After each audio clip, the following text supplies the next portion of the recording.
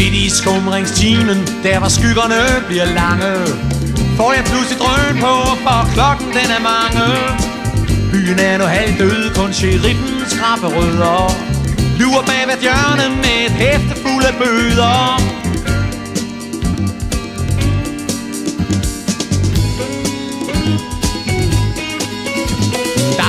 Frihedsstøtten. Tjekke pibe på mig lighter. Starte op med gult og køre skoen af en spider 1500 meter igen ligge godt ind over styret. Bremse med et vin Springe af og låse dyret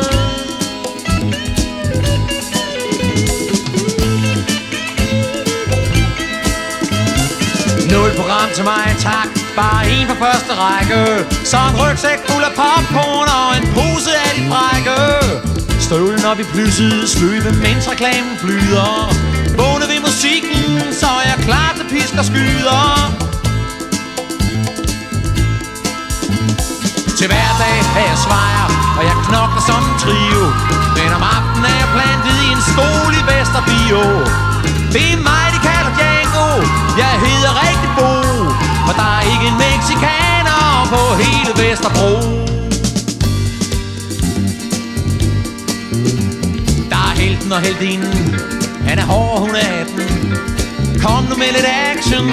Skal vi vente hele natten? Ah, det er den der med behoven.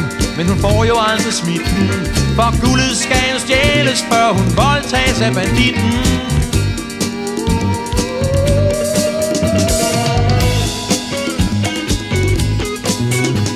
Nu er der tryk på celluiden Nu har skurken taget sulfiden Helten kaster sig på hesten. Lad os se om han kan ride den. Der er stank af mor i luften Og man kan næsten gætte resten. For han savler på serutten Mens han tørrer sko med hesten.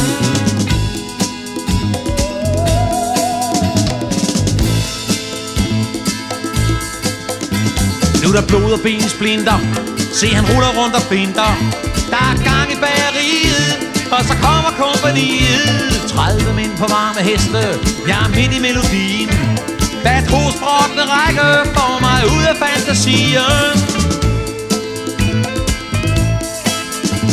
Jeg er Bo, og jeg er svejer Og jeg er knoklet som en trio. Og jeg sidder her med popcorn i en stol i Vesterbio.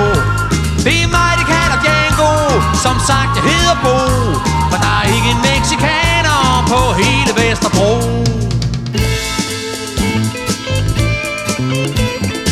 Der lys i salen Hvor drømmen man var midt i.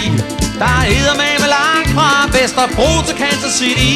Nu er man bare sådan en svejer Sådan en lille storbys klovn Der slutter dagens drama ved en snusket pølsevogn Og i morgen er jeg Django Og jeg knokler som en trio Med et ordentligt hold i ryggen Og en drøm i Vesterbio Jeg er ingen blot revolver Men har cykelspil